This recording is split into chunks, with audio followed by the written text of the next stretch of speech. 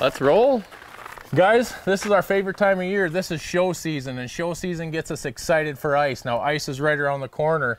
Come visit with us down at the Dakota Ice Institute down in Sioux Falls at the Sioux Falls Arena. We love talking ice fishing, don't we? They're going to be showcasing a lot of new products this year. Eskimo's got a lot of good products coming out. A lot of other a lot of other products are going to be there available for everyone to get their hands on and see it before you hit the ice this year. There's nothing more fun than getting yourself excited for ice fishing with new products. The products from our sponsors are exciting. Products from around the industry is exciting.